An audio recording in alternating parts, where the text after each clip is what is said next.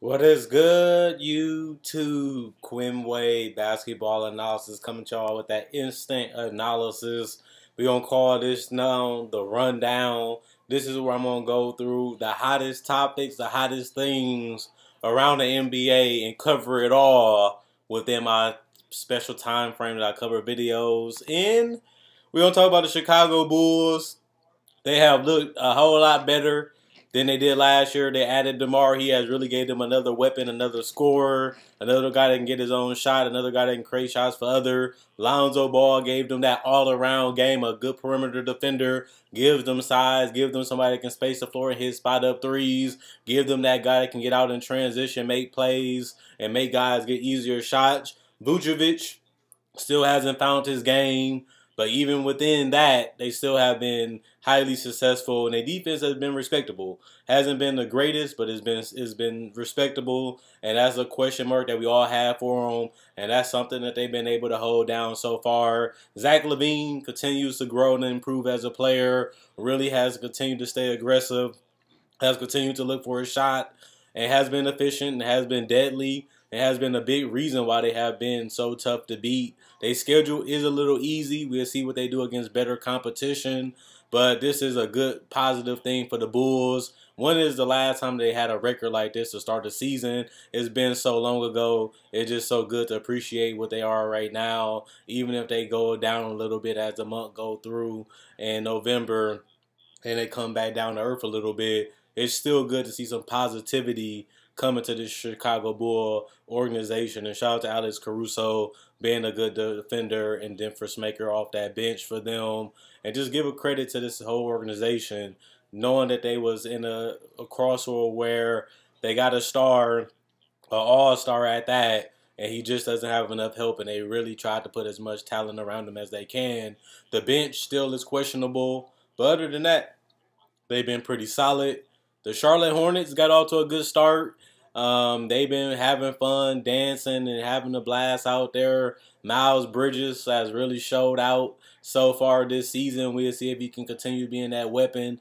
Gordon Hayward still showing his versatility as a passer, as a guy that can create his own shot and play off the ball. LaMelo having fun was rookie of the year, showing that he could be possibly an all-star this year for the Charlotte Hornets, up in his scoring, continuing to play make and continue to be active. Um, this has been a fun team I had to make in the playoffs. I'm not surprised that they're good. I'm just surprised that they this explosive.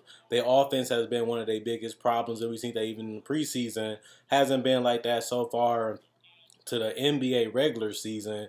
But we see what continues. The New York Knicks have got off to a decent start after blowing a game that they should have won. We'll see what they do at the end of the day throughout the rest of this month and going into November. They have still relied a lot on Handle Randle to get them buckets, create buckets, and really be the hub. Evan Fournier has shown to be a good offensive fit. Give him the guy that can play off the ball, get some threes up, can shoot some threes off the dribble a little bit. Kemba hasn't really found his footing just yet but he is a guy that can come in and give you some decent starting numbers. Derrick Rose finally came off the bench and had a great game with 23 off the bench, but it wasn't enough for them to win the game. But the Knicks look more potent, they look more versatile, they have more weapons. RJ Barrett really still sticking and doing the little dirty work, hitting the shots hitting the open one, creating every once in a while, driving every once in a while. He has more space to operate, has more weapons around him. All he has to do is to make the play and finish his plays, and he can be a solid player for this team. The Milwaukee Bucks have got off to a great start also being that dominant team that we thought, we looked at the Bucks as a contender in the NBA, and they have proven that again.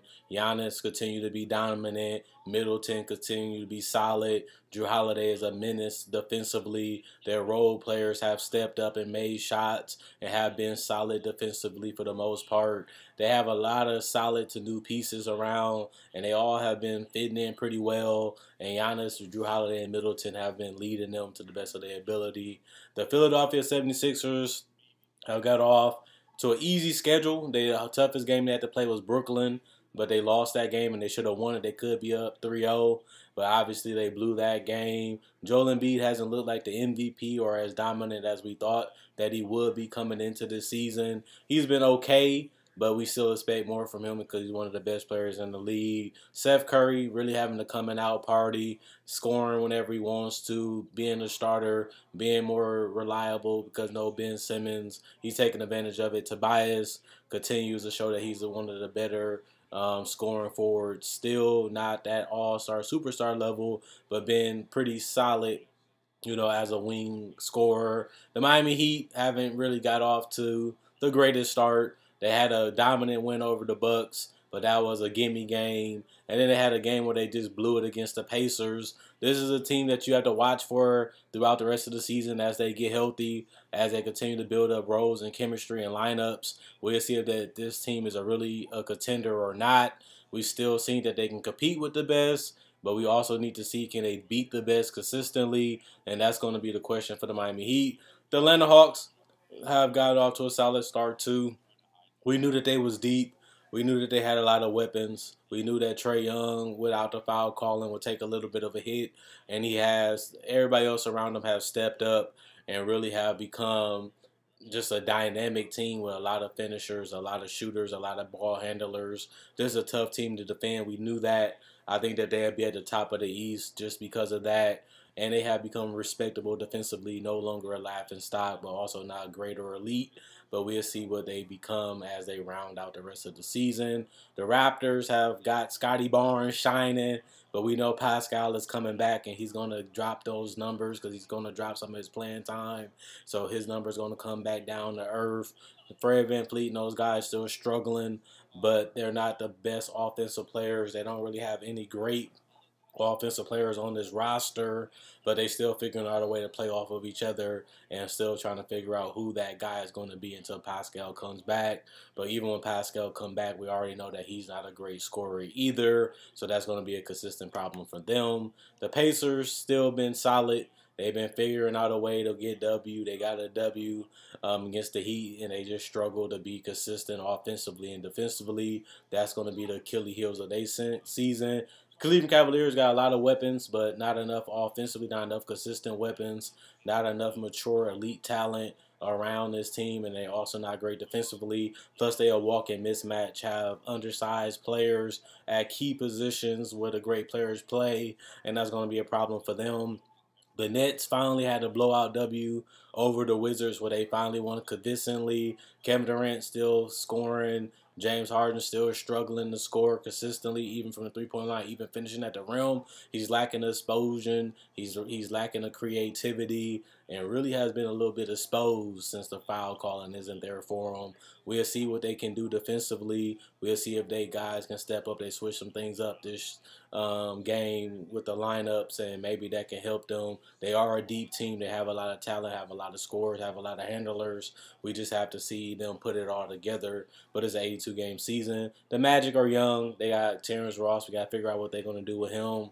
Uh, just a, a team that you have to watch to see what they're going to become and what they will be in the future. This is just a season to get guys some experience, to get guys some playing time, and we just have to see them put it all together in the future, just not this season. And the Pistons, we still haven't seen K play. We knew that they'd be one of the worst teams in the NBA, and they continue to show that um, by starting off 0 2 and I don't really see that changing much, you know, throughout the season. The Warriors got off to a 3-0 start. They took advantage of their schedule and the inexperience of the Lakers, but this team is going to be dynamic. They're going to be fun. They're going to get up a lot of shots. They're going to have a lot of spacing, a lot of movement. They're going to beat you together, and then they have the MVP caliber player slash franchise player and Steph Curry, who we know can obliterate any defense or anybody any given night, and we've seen him do that already this season against the Clippers, and we will see many more of that throughout this year, and that's why they're going to be a must-watch team. The Jazz, their bench hasn't been what we thought, but they still have been able to figure out how to win. Gobert has been dominant in the inside, even in the rebounding. Donovan Mitchell still has been one of the toughest players to guard, even though Davion stayed with them and made it tough. But the Jazz ultimately got the W. They're going to have to get a couple guys back, and they're going to have to continue to play their system and play their game, and they're going to be dangerous. The Wolves got off to a better start. I told you they'd be a better team than they was last year. The lineups are more matched, the players are more healthy, and they're just going to be a tough team to beat. Defensively, they still going to be a question mark. Offensively, we got to see can Anthony Edwards keep up the efficient player. I mean, efficient play throughout the entire season and still be a dynamic scorer. And Towns, we know what he can bring to the table. D'Angelo, we know he can close. We know he can score. They still have some situations that they need to figure out roster building wise with this bench and with their starting lineup. And then we can see what they're going to be. Denver just been steady. They continue to ride Jokic and guys around him just make plays and make shots. As long as Jokic is dominant, keeping guys involved and being unstoppable, they're going to be at the top of the West. They fourth right now. That's around where they're going to be at the end of the season. The Grizzlies blew a game against the Lakers, which they had an opportunity to start 3-0. Ja Morant has been fearless and ferocious, attacking the rim, finishing, playmaking and the Grizzlies have really became a team that people enjoy watching and enjoy seeing. Bane has really been good for them. Struggled a little bit against the Lakers, but he had to guard LeBron, so it makes sense that it took a little bit out of him. Undersized, really going to have to figure out what they're going to do with that forward position and they still have some other issues that they got to figure out with the depth in this roster. But that's from the future. They're going to be competitive. They're going to be in the playoffs. They're going to be a fun team to watch, and we can see if Ja Morant can lead his team to an All Star appearance and possibly All NBA team. You know, he got off to a hot start last year, then kind of fizzled off. We can see if he can keep it up this year. Maybe it's different in his third season. The Dallas Mavericks are not the greatest team. We know they have a lot of wings. We know they got Porzingis. We know they got Luka, but they still struggle defensively. They still struggle hitting threes, and they still struggle outside of Luka carrying the load, scoring baskets. And if they ain't going to be a great defensive team, and they're not going to be a dominant offensive team, this is going to be in the middle of a pack team, and that's what they have been a first round exit every single season that they've been in the playoffs, and I think that they'll continue until they make some roster changes. The Blazers, same thing. Had an impressive win against Phoenix. Had a dud in their first game. We know that they're going to be a playoff team. We know that they have video game Dame, a closer, one of the tougher players to guard. And they also have a solid supporting cast. They'll be fine. Even if they have elf issues, they should be able to make the playoffs. The Suns looked amazing against the Lakers and lost the other two, but we're not going to worry too much about them. They have a lot of weapons. They have the defense. They have Chris Paul. They have Booker, and they have a lot of guys that fit into what they're trying to do in their culture. They'll figure it out. It's only three games. They'll be fine. The Rockets still young, still trying to find out what they are and what they're trying to do on the offensive end. Have a lot of pieces, but they have to put a little bit more depth and a little bit more weapons on this roster to become dangerous. They will be at the bottom of the West um, at the end of the day. But it was good to see Jalen Green shine, hitting his threes, hitting the contested ones, switching it up a little bit. He's going to be a fun player to watch. The Lakers have been struggling with consistency defensively, has been abysmal.